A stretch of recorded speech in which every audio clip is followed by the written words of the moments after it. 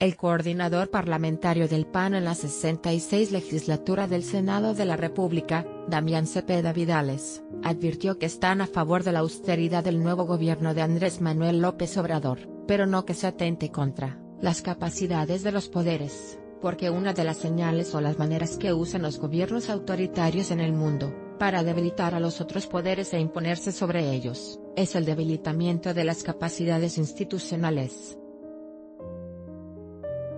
Política Panistas definirán coordinador en reunión plenaria. El panista acudió al Senado a su registro de credencialización, ahí destacó que se debe cortar todo lo que sea necesario, pero dejar aquello que sea útil para hacer bien el trabajo, como poder legislativo, en este caso, pero también se incluye al poder judicial.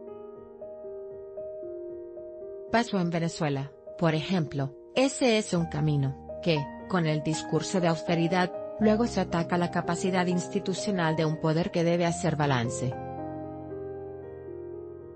Así es como está concebido nuestro esquema político en el país, refrendó. Política Ricardo Anaya reaparece con Damián Cepeda.